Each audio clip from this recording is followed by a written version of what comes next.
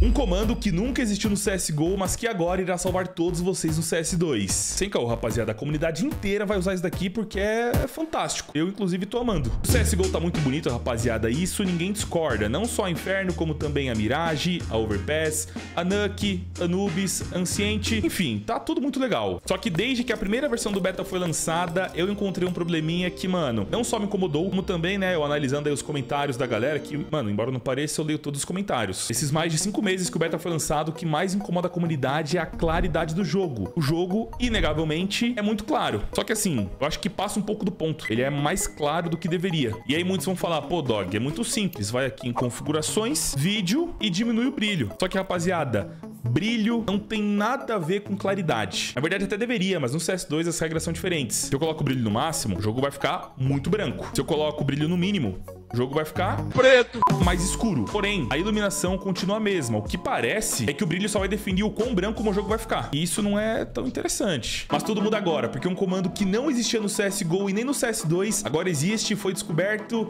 e de verdade, todo mundo vai usar. Quando eu digo todo mundo, é literalmente todo mundo. Só não vai usar quem não conhece. Quem descobrir, vai usar, porque ele vai realmente melhorar a jogabilidade de todo mundo. O comando é o seguinte, R underline full screen underline gama. O padrão de todo mundo tá no 2. Então o jogo de vocês deve estar assim. Porém, colocando no 3...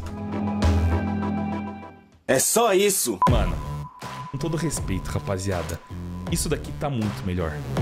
Mas assim, tá muito melhor. Muito melhor mesmo. Porque a claridade em excesso, assim como a escuridão em excesso, atrapalha muito. Eu tava sendo dificultado por conta dessa claridade excessiva do CS2, que agora, com esse comando, mano, resolveu. Resolveu tudo. E assim, ele não afeta na iluminação do jogo, ele não altera os gráficos do jogo, o jogo continua bonito igual. Só não mais com aquela iluminação exagerada. E você pode moldar, né? Eu tô aconselhando aqui usar no 3. Pode colocar, por exemplo, 2.8. Vai ficar muito bom também. Não é só na Inferno que esse comando funciona e ajuda muito, rapaziada. Literalmente em todos os mapas o resultado é muito satisfatório, principalmente na Vertigo. A Vertigo que pra mim é o pior mapa aí do pool atual competitivo. E agora no CS2, cara, por ser um mapa muito branco, um mapa com muito sol, né? Não tem quase nada aqui pra tampar a iluminação. Tava branca demais, tava exageradamente iluminada. E agora, né, colocando esse comando no 3, tudo fica melhor.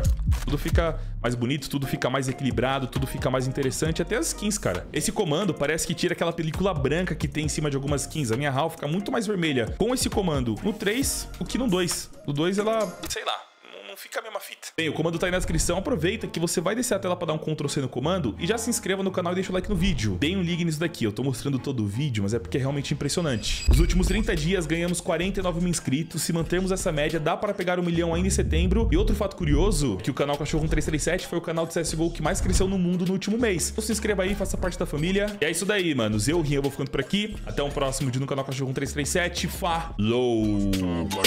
One time like